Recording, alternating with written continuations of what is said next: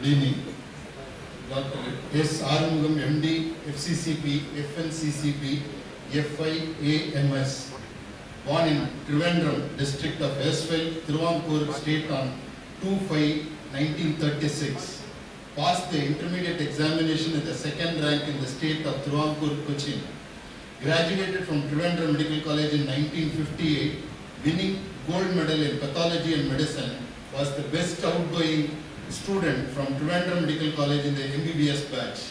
Joined Tamil Nadu Medical Service, passed MD General Medicine in 1966, worked as an assistant professor of medicine, di- diabetology, medical specialist in ESI Hospital, professor of medicine, diabetology, and finally he uh, retired as a director, professor of medicine, Madras Medical College, senior physician of Government General Hospital after 33 years of distinguished government service in various stations and in various capacities. He was awarded Best Doctor Awardee in 1996. Trained in clinical nutrition, diabetology, intensive medical care, and research methodology, has published a dozen of scientific papers in national and international journals, and he has organized lot of conferences and examiner for postgraduate and undergraduate medical medical examination and a guide for MD postgraduate for their dissertation over 10 years. And he is a member of Diabetic Association, Nutrition Society of India, Indian Society of Electrocardiology, Association of Physicians of India, Fellow of American College of Chest Physician, National College of Chest Physician, Indian Academy of Medical Specialties, and the International Medical Sciences Academy. In his name, this oration, Dr. S. Arumugam Endowment Oration by Dr. S. Chandrasekar. Dr. Arvind will introduce Dr. S. Chandrasekar.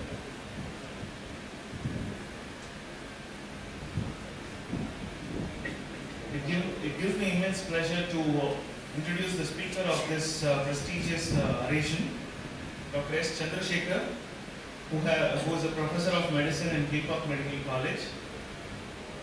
He has been uh, a very active and dynamic student and as well as a teacher for many of the graduates and postgraduates. And he has uh, credit uh, of many publications, national and international, and he has uh, presided over many conferences like uh, DaisyCon, National Cardiological Society of India, Apicon, uh, Tapicon, etc. And he has uh, published many papers and contributed many chapters to ma- mainly to with choosing an OHA and uh, stem cell therapy, textbook of medicine. In the, and uh, he has um, he's a member of many uh, national and international uh, uh, associations. Over to you, sir. Please, Dr.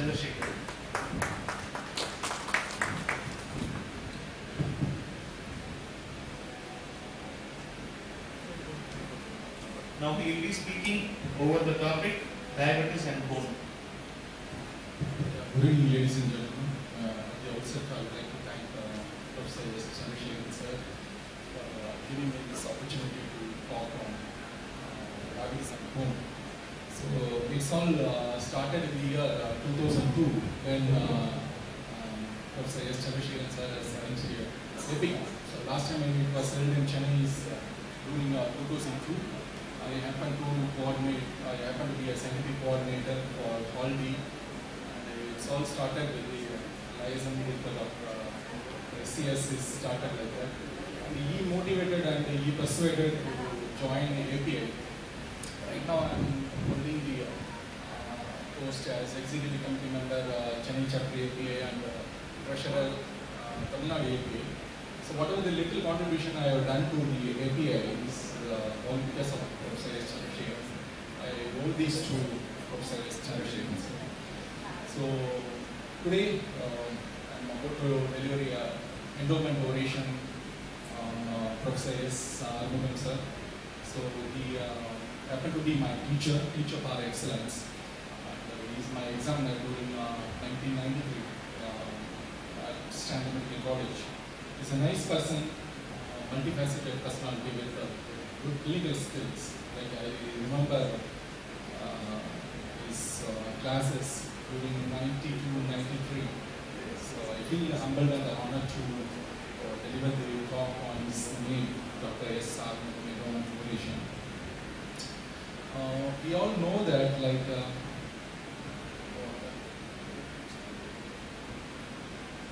so we all know that, like, uh, the uh, diabetes is a very common problem, and uh, we do have almost uh, every alternate days, like, we do have some seminars or CME happening with diabetes, the pharmacotherapy or complication part of it. So one thing which is, of course, is quite common, and most of the time it's uh, not being looked upon. In fact, it's overlooked. Is the bone complications. We don't talk much about the bone complications that can into diabetes. I thought like I do still a lot of things are in the uh, pipelines of the research papers. Or in the pipeline.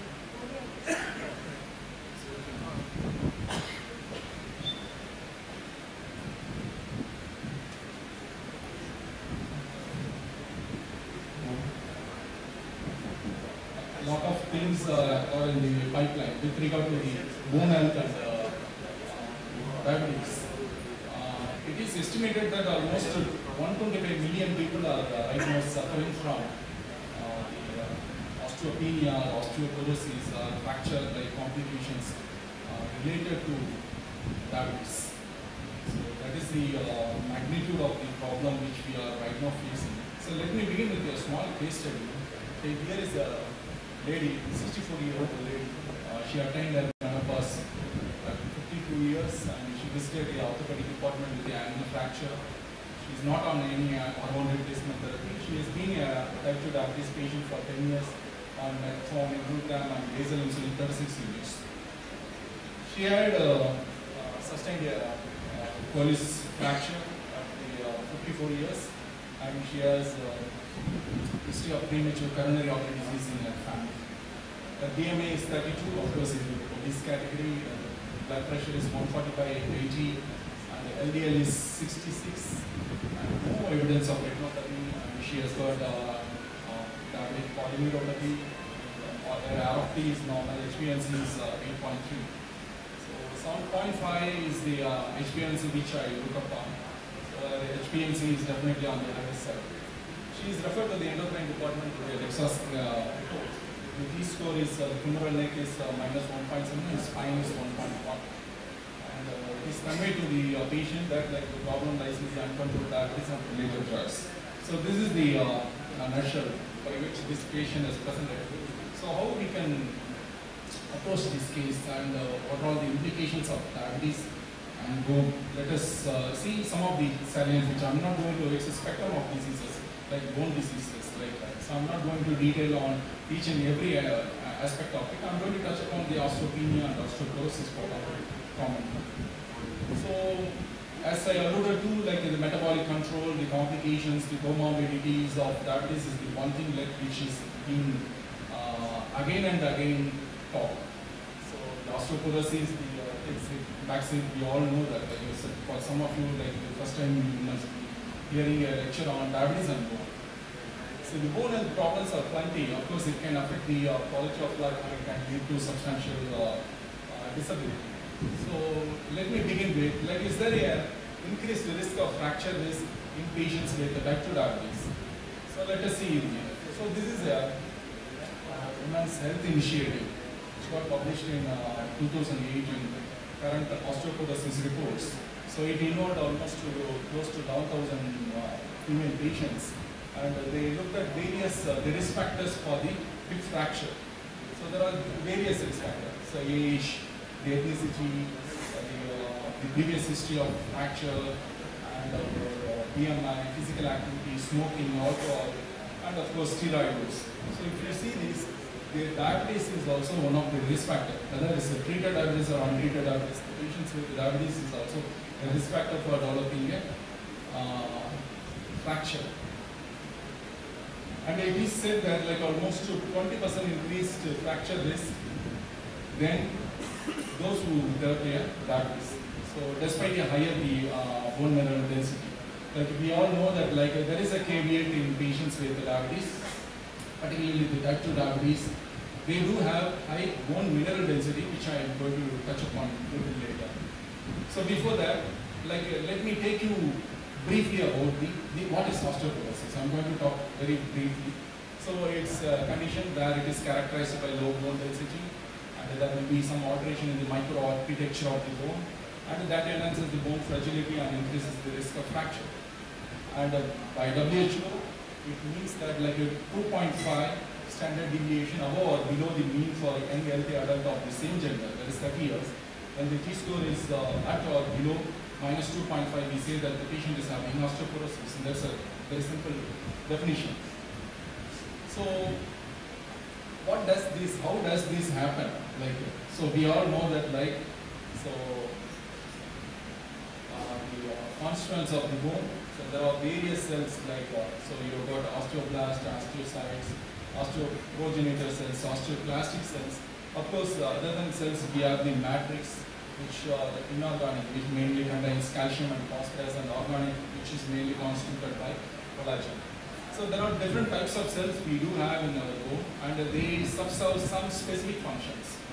So unless we understand the functions of these cells, like it may not be, uh, I mean, easy to uh, know the, the dynamics of diabetes, which is in, in bone. So osteocytes are mononuclear cells in the mineralized matrix, and under the influence of parathyroid hormone, it participates in bone resorption and calcium ion transport. Whereas osteoblasts, they usually they come from the mesenchymal cells from the bone stromal cells. Like mesenchymal cells, we can differentiate into any type of cells. So for us to understand, like, so because this is the same thing I will be touching upon in another uh, set of slides and it is responsible for the mineralization of the bone matrix and the responsible for secretion of the type 1 collagens which forms the, the major constituent of the matrix. The osteoclasts, of course, uh, they are uh, notorious and appears as sites of high bone turnover and they exclusively they serve as a bone resorbing cells. There are various hormones under the growth factor which also plays the, uh, the uh, acts upon these uh, osteoblast, and osteoclastic cells. And its effects are uh, like uh, like uh, the uh, tumor necrosis factor like we know that like diabetes is a low grade inflammatory state. Where it can secrete so many things including interleukin tumor necrosis factor. Say for example if the tumor necrosis factor it acts on the osteoclast and it can result in uh, bone resorption. It, it can accelerate bone resorption Similarly, the parathyroid hormone it acts on both kidney and bone and it can stimulate the production of vitamin D and helps in the resorption, uh, uh, resorption of calcium. Calcitonin, which again acts on the bone osteoclast and inhibits the resorptive actions of the osteoclast and lowers the calcium. This is very important. So this is pertinent in patients who do get uh, GLP-1 receptor agonist. So we know that like liraglutide or exenatide or dulaglutide. So all these things are known to increase the calcitonin in the parafollicular cells in the thyroid. So thereby it can result the bone mass and it uh, sucks down, the, it depletes the calcium in the blood and it uh, causes more mineralization of the uh, bone matrix with the deposition of calcium. So thereby it can augment the bone strength. Similarly, the 125, the vitamin D3, it acts on the bone uh, osteoblast and stimulates the collagen and osteochondrin, osteocalcin synthesis. These are all the, uh, the bone forming uh, components, the osteopontin and osteocalcin and all. Like, again, estrogen and testosterone have got a favorable mechanism on the bone strength and uh, mineralization. So this is a study which helps us to understand whenever we talk about uh, yeah, macrovascular, macrovascular complication, we usually we talk about less than 7, the possibility of complication goes up.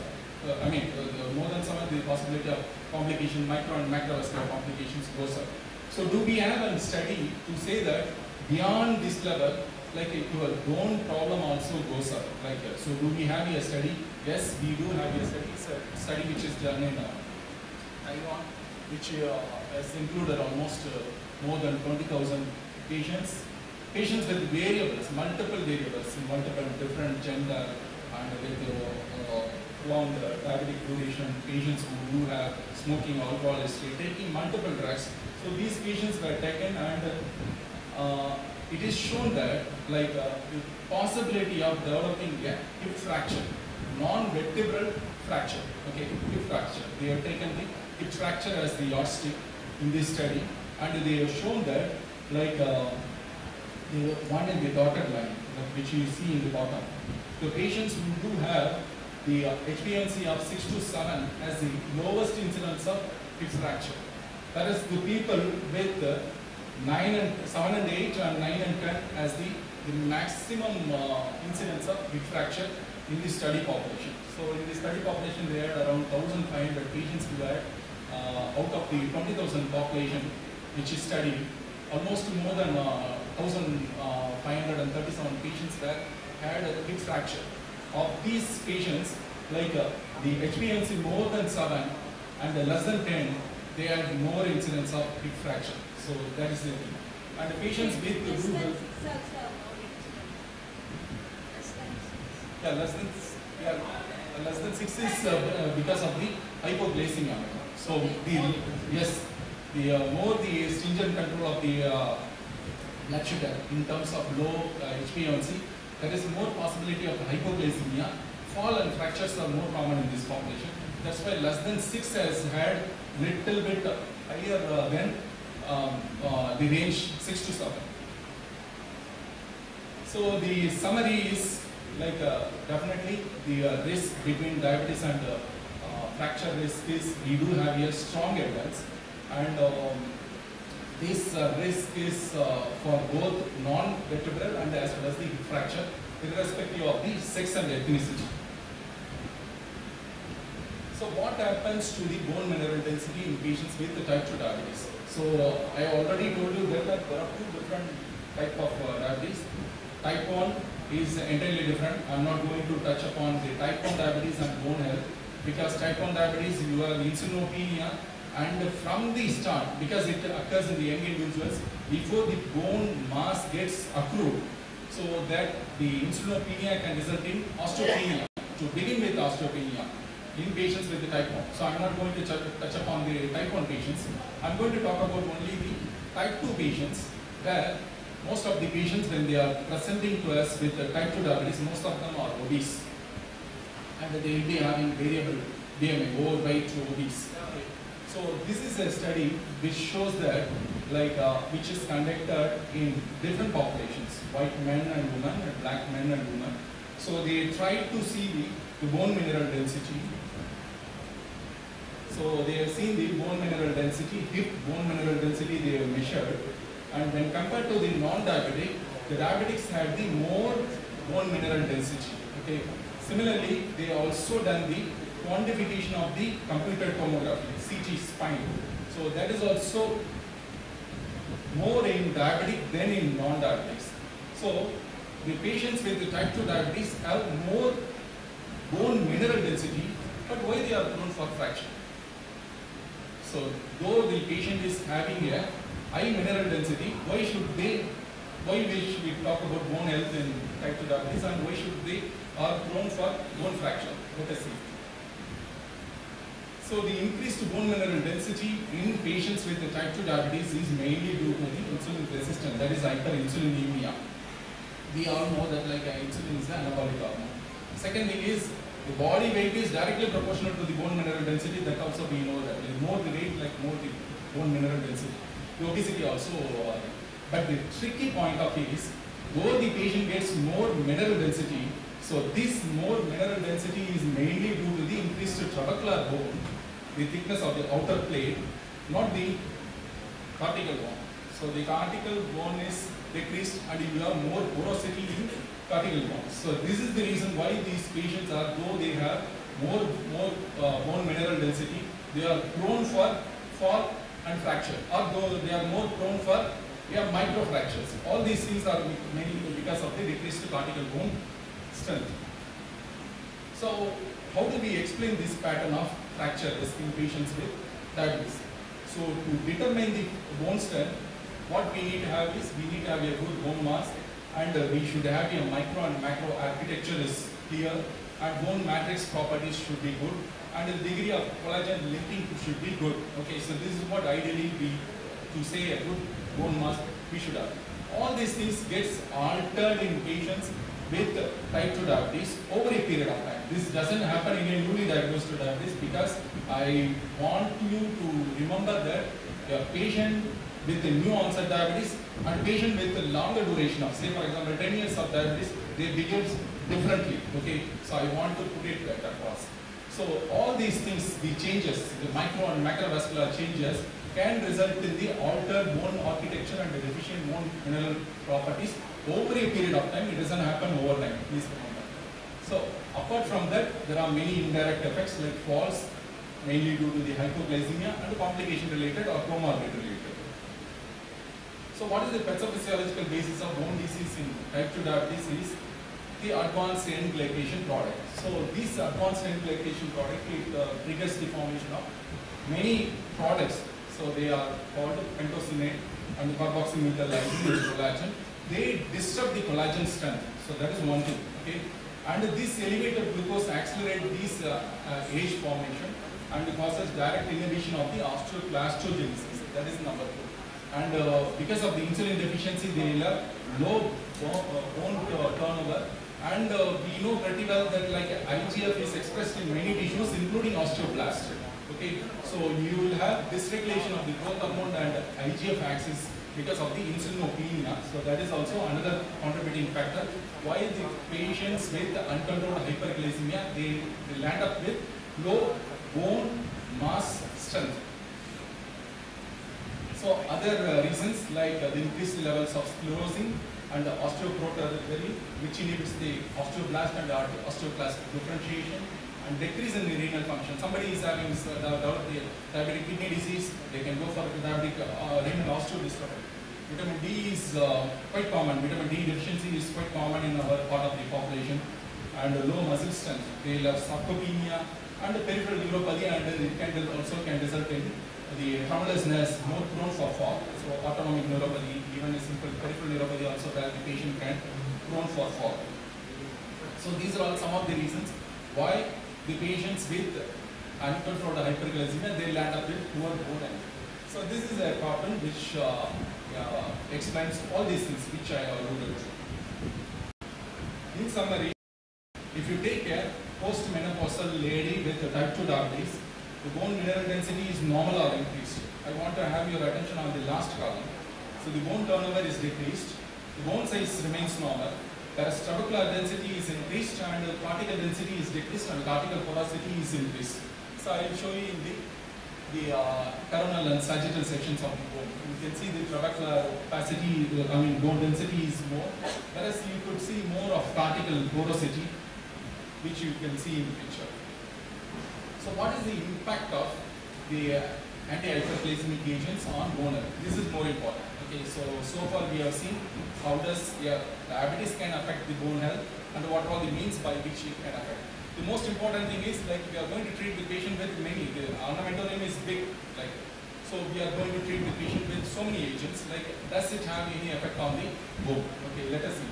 So as I already told you, like the GLP-1 analogs, like that in the uh, experimental studies, particularly with the liraglutide, not with exenatide, particularly with the liraglutide, it increases the bone mass and bone mineral strength goes up. With GLP-1 receptor agonist, we have studies with liraglutide. Next, next is DPP-4 inhibitors. As it, uh, as previously uh, told by uh, first speaker, like uh, they increase the levels of GLP-1 receptor agonists. Okay, so thereby it indirectly can cause a neutral effect or a beneficial effect on the bone. Okay, PCDs I will come to that little later. The insulin. Okay, so insulin is a good drug. Like I think you, all of us would vouch for that. It's a good drug. It's a life-saving drug. Okay. Does it have any effect on the bone? The literature says by the time when the patient is put on uh, insulin, the duration of the diabetes is longer. So they would have crossed at least 10 to 12 years of diabetes and they would have developed so many complications and comorbidities. So that is the thing where you are going to put the patient on insulin. Once the patient is on insulin, they are prone for, if they are not adequately taught, like they are prone for hypoglycemia and prone for a fall and they may fracture. Okay, though insulin is good for us, okay, metformin of course, it is shown that like uh, the recent studies shown that like uh, it has shown some positive effect on the bone health. And sulfonylurea, there is no data, but remember that like sulfonylurea make the person to prone for hypoglycemia and it can result in a fall and fracture. Okay. SGLT2 inhibitors I will little later, and amylin analogs we don't have. So let us see how glitazones. Okay, so we do have we had two uh, glitazones, Rosi and Pio. Of course, we do have pioglitazone. It's a good drug. Like I've been using a lot of pioglitazone on the patient which I choose. Okay, so it's not a, random uh, selection of uh, patients. Like I choose my patients who is going to take glitazone. Okay, so let us see the, some of the mechanisms. Like I put it, it's a complex uh, slide, but I put it very simple. So it acts through the PPAR gamma. We all know that. Like so, this PPAR gamma it goes and it causes adipogenesis. It causes more accumulation of fat and fatty acids, and it causes deposition elsewhere. Okay, so not in the visceral fat. Okay, so in the subcutaneous tissue, we know that. Okay, so how does it happen? It causes this adipogenesis at the cost of bone formation. So that's why one of my slide I told you that like both the uh, things like the mesodermal cells which secretes osteoblast as well as this is which is responsible for the adipogenesis they go in a same pathway. So that's the reason why the patients with PCDs when they are on like it can cause bone thinning. Okay, so that's one. So SGLT2 inhibitors, the recent controversy we all know that simple it causes more uh, it causes sodium co- uh, uh, glucose transport inhibitor. Okay, so apart from that, it also as it inhibits the sodium transport, but phosphorus is retained and phosphorus goes up. When the phosphorus goes up, it secretes two things. Okay, one is PTH, another one is FGF, that is fibroblast growth factor, and which can result in decreased vitamin D. So that is another postulated mechanism by which it can cause fall and fracture. Okay, so we have got some signals from DAPA and as well as from the um, uh, canagliflozin. So we all know that like whenever we use such patients on postmenopausal uh, ladies or elderly men, more than 65, we have to it. So how to detect the risk? We have got a two scores like WHO FRAX, there is a fracture risk assessment two and a BMD. So there are so many drugs which are available, bisphosphonates, allopurinol, and zoledronic acid is available. And some we have got raloxifene and uh, we have got teriparatide. So that is parathyroid hormone. So these are all some of the uh, drugs which are used to treat as well as to prevent osteoporosis. Okay. But remember, not only the OHA, but also some of the drugs. Say for example, the drugs which you see on the third cover, the PPA can cause osteoporosis, please remember. So the patients who is on thyroid and excess thyroid hormone can result in accelerate osteopenia. Okay. So of course steroid can accelerate uh, osteopenia and the SS, uh, SSRIs. Some of the uh, psychiatric drugs also can result in osteopenia. Phenytoin is another notorious drug which can cause osteopenia and osteomalacia. So these are all some of the history, I mean drugs also uh, we need to note whenever we uh, contemplate treating these patients for osteopenia. This is my last but uh, uh, last but one slide. There is a condition called diffuse idiopathic skeletal hyperostosis. This is quite common in the early stages of the diabetes, particularly in uh, um, uh, associated with metabolic syndrome. Somebody with calcanean spur, please check that the patient is not having metabolic syndrome because this one of the common associated factors is spur, which we see commonly. Charcot joints is one of the notorious complication, complicating complications, particularly in patients with autonomic neuropathy. Bariatric surgery, though it seems looks like a boon for treating the patients with the type 2 diabetes, it also carries some risk, particularly the bilio, bilio urinal uh, diversion uh, surgery is uh, resulted in more number of fracture risk after one year. The diet is more important. We need to come back to the basics. Okay, the diet is more important. We need to educate our patients to take the food rich in calcium, phosphorus, and magnesium. So that is more important, which usually we see in uh, the milk, dairy products, animal proteins, nuts, and seeds, and some of the vegetables like broccoli and salt. Physical activity is more important. So that is a simple tool to enhance the bone strength. Okay. So 120 minutes for a young individual, 150 minutes for a uh, adult or elderly individual. Coming back to our case, so the patient has had a clinical osteoporosis because she had a fracture at the age of 54 years. Poor glycemic control is one of the contributing factor, and she has to be taught about the comprehensive exercise program. I think the Professor um, Sir has told about some of the, the differences between right and left. So there are many things, not only the physical exercise, including exercise, stretch exercise, aerobic exercise, there is a thing called the balancing exercise. So if some of you know about Tai Chi exercises, that is good for patients with who are these kind of prone for fall. So please try that. The strategies for fall prevention, of course, we have some pad and other things out there. Like, so alendronate and calcium and vitamin D3 is the, uh, the uh, treatment of choice. If there is a GI intolerance, we need to go for IV zoledronic acid. And the patient gets repeated uh, fracture, we need to go for teriparatide. That's a very good track. So with this, I conclude my talk and again, I thank the organizers for giving me an opportunity to talk on the subject bone and diabetes. Thank you, Ananda. Thank you, sir, for the nice lecture. Now I request Dr. Ramamurthy.